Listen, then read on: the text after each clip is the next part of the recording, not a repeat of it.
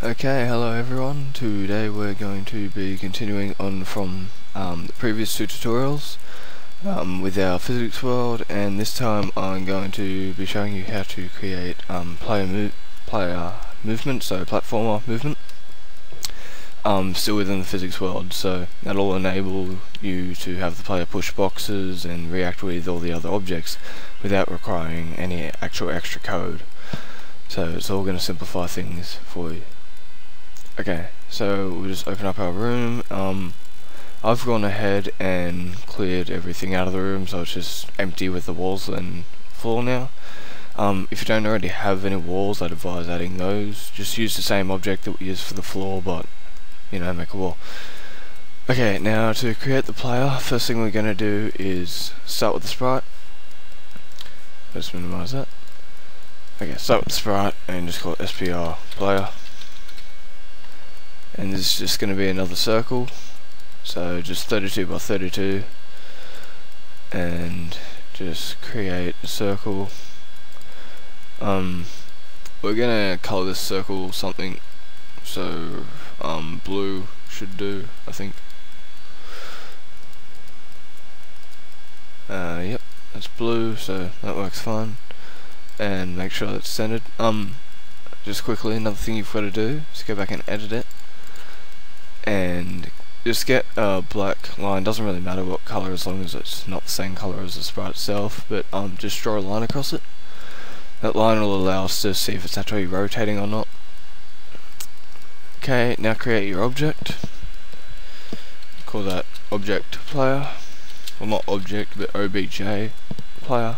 That's just how I do it, it um, keeps things organised. And give it sprite. Now, don't forget to parent this with the dynamic parent, otherwise you won't have any collisions, and tick the box that says uses physics. Okay, now in this um, in this object, we've got to change. Um, you've got to make sure the collision shape's um, a circle, and then you've got to change down here in the physics properties um, friction. So just here, it's 0.2 at the moment. We're going to set that up really high. We're going to set it up to 50. Um, friction is the friction between this object and other physics objects. So that way, when we hit the ground and we want to move, we won't just slide out. Instead of moving, we'll actually grip the ground. Okay, now add your create event. Just like that. And we're going to go and put in some code. Okay, so this is going to be variable variables in this. Okay, so we'll start off with the speed. Um, yeah, we'll start off with speed, so just call it SPD equals 500. Then we want um the jump power, so we go JMP equals 500 again. That shouldn't be too much. Um, the values in physics is normally pretty high because you've got to like it goes off like mass and that kind of stuff. It doesn't just go off a variable like just it doesn't go for normal variables so like everything tends to be a lot higher.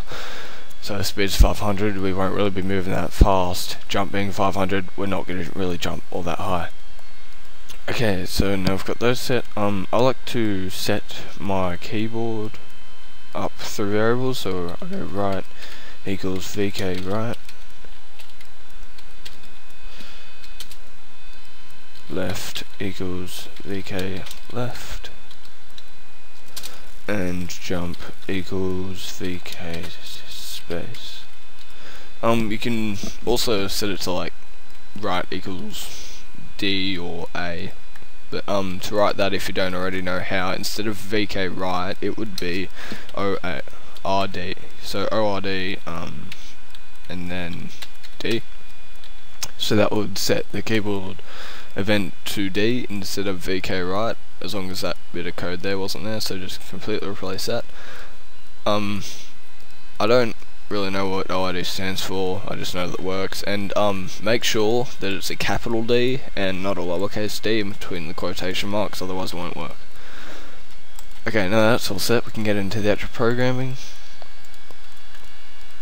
So create a step event put in your code and we'll go if keyboard check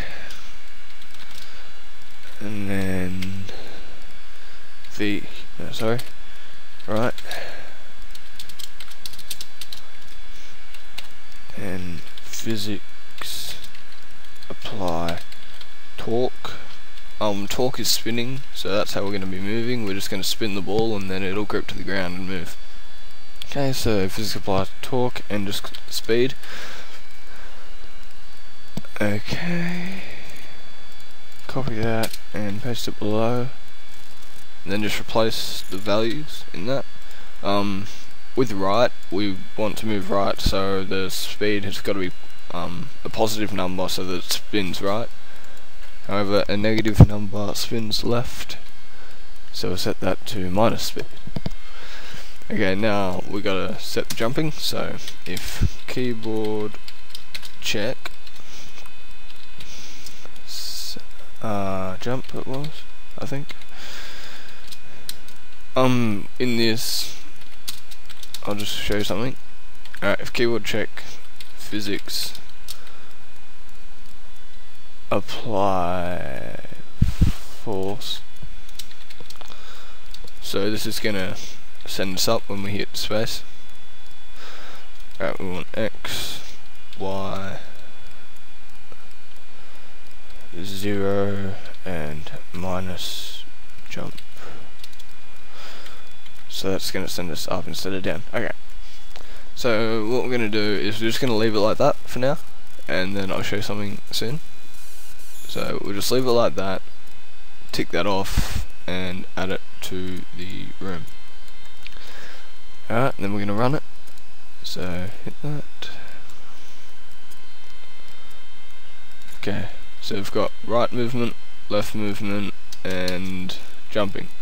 Alright, notice how that goes up really high, and I can actually make it, like, kind of hover. So let's wait for it to come back down. Yeah. Um, we don't want to be able to hover in the air. So if I just hold down space, it's going to send me up flying into the air, even though, like, I'm not on the ground. So what we're going to do is make it so you can only jump when you're touching the ground. Now, in a normal platformer, you'd use something like if place meeting.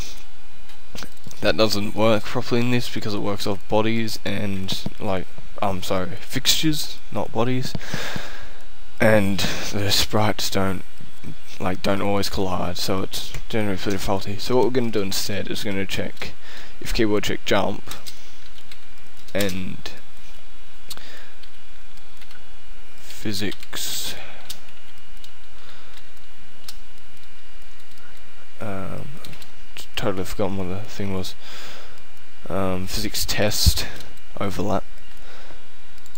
Uh, so what this will do is generally the same thing as the if place meeting, except it's going to check if two spots overlapping. So what we're going to going to do is go x, y plus one or two. I'm going to set it to do.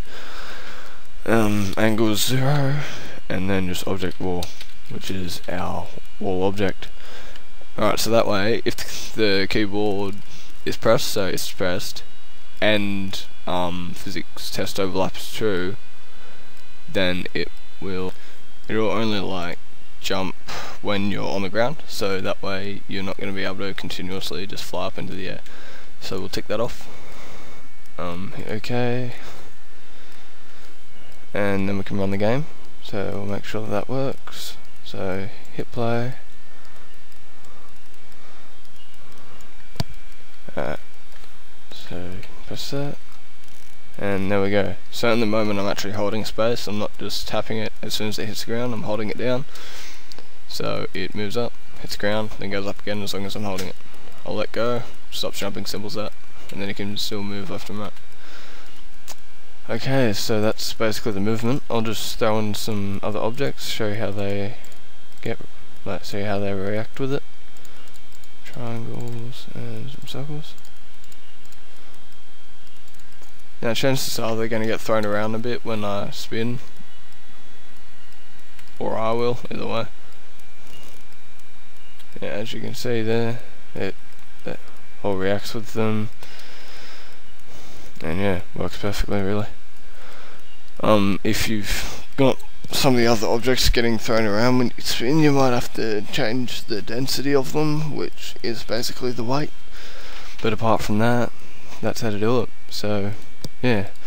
Um, thanks for watching, and subscribe if you want more videos. Right?